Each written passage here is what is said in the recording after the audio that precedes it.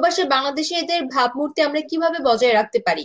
ভাবমূর্তি বজায় রাখার জন্য তো আমাদেরকে কমিউনিটি লেভেলে কাজ করতে হবে। আপনার ভাবমূর্তি শুধু আমি, আমার ভাবমূর্তি আমি যদি ঠিক রাখি, আমি যদি ভালোভাবে চলি, আমাকে দিয়ে তো আপনি বাংলাদেশিদের ভাবমূর্তি নির্ণয় করা যাবে না। ভাবমূর্তি নির্ণয় করতে হবে আমার সাপোজ আমি যেমন সংযুক্ত আরব আমিরাতের কথা বলছি দশ বারো লক্ষ আমার যে লোক আছে, আমাদের সেখানে ডাক্তার ইঞ্জিনিয়ার প্রফেশনাল থেকে শুরু করে ম্যাক্সিমাম নিম্ন লেবার শ্রেণির লোকজনই বেশি। তো সেই শ্রেণির লোকজনকে মোটিভেট করতে হলে, বোঝাতে হলে, তাদেরকে একটি একটি, একটা আমাদের দেশের এবং ওই দেশের কালচার সম্পর্কে কে বোঝাবে? তারা যেহেতু আমাদের দেশ থেকে কোনো ট্রেনিং নিয়ে যায় নাই, তারা বিভিন্ন শ্রমে তারা যুক্ত ছিল বা দেশে তারা চলে গেছে, বিভিন্ন শ্রম নিয়ে দেশে লেবার শ্রমে। সেখানে গিয়ে আপনি মনে করেন এমন লেবার অধ্যুষিত এলাকাগুলি আছে, ওইসব দেশে আপনি জানেন যে লেবারদের জন্য একটা ডিজাইন এরিয়া থাকে, একটা নির্দিষ্ট এলাকা থাকে, সেই এলাকাতে ওদেরকে থাকতে হবে। সেখানে লক্ষ লক্ষ লোক থাকে। বাংলাদেশি বলেন, ইন্ডিয়ান বলেন হ্যাঁ ভারতীয়, সব দেশেরই। সেই লোকগুলি, কারণ ওখানকার পরিবেশটা তাদেরকে তারা হাঁপিয়ে যায় মানে হতাশ হয়ে যায়। তো তাদেরকে কিছু বিনোদন দিতে হবে। তাদের সাথে মেইন স্ট্রিমে যারা আমরা ছিলাম, আমাদেরকে তাদের খোঁজ খবর নিতে হবে। ধন্যবাদ জানাচ্ছি মামুন ভাইকে এবং শাহ আলম ভাইকে যে আসলে আমাদের তিনজনের কথাই কিন্তু একটাই আসছে যে, রাজনৈতিক প্রবাসে না করাই ভালো, সামাজিক সংগঠন করেও সেবা দান করা সম্ভব, যেভাবে আমরা করে আসছি দীর্ঘদিন। সামাজিক সংগঠন করে আমরা, আমাদের দেশীয় যত সাংস্কৃতিক আছে এবং আমাদের দেশীয় যত আমাদের জাতীয় যে প্রোগ্রামগুলো আছে এগুলো কিন্তু আমরা সব সময় আমরা সব সময় কিন্তু এগুলো পালন করে থাকি এবং ইউরোপে ইটালিতে তাদের সাথে তাদের জাতীয় অনুষ্ঠানগুলো আমরা তাদের সাথে একসাথে করে থাকি।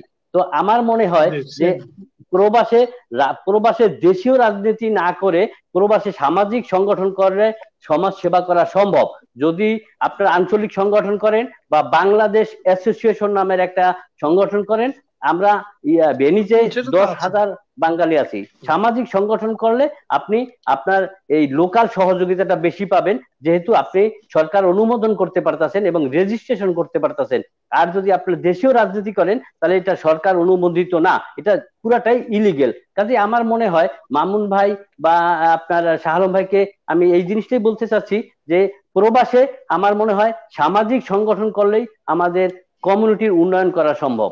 আমরা যারা ছাত্র রাজনীতির সাথে জড়িত ছিলাম, যাদের রক্তে যাদের শিরায় মানে রাজনীতি যাদের বাহমান, তারা কিন্তু আপনি পৃথিবীর যে দেশেই যাবে, যেখানে যাবে, তারা কিন্তু ওইটা ছাড়া থাকতে পারে তা আমি হ্যাঁ সেটা বলব যে আপনি রাজনীতির চর্চা করেন, মধ্যপ্রাচ্যে করেন আর ইউরোপে, আমেরিকাতে, ইটালিতে, কানাডাতে করেন, কিন্তু আপনি সহনশীল থাকুন। আপনার আপনার প্রতিপক্ষকে সেইভাবে আপনি গণতান্ত্রিক আচরণ করুন, অন্তত প্রবাসে, দেশে না করুন, অন্তত প্রবাসে। সেইভাবে সবাইকে আমি ধন্যবাদ জানাই এবং এই এই করোনা কালে আপনারা সবাই, আমরা সবাই ভালো থাকি দেশে, দেশের বাইরে এবং আমাদের, আপনারা জানেন সবচেয়ে আমরা প্রবাসী বাইরা আমরা যারা এই করোনা কালে এই রিমিটেন্স যোদ্ধারা যারা মৃত্যুবরণ করেছে, অত্যন্ত নির্মম তাদের এই মৃত্যুটি। এই তাদের মৃত্যু তাদের লাশটি দেশে আসতে পারে নাই। তার পরিবার, তার স্ত্রী, তার সন্তান তারা দেখতে পারে নাই বাবাকে, তার তার তার আত্মীয় স্বজনকে। তো এটা অত্যন্ত দুঃখের।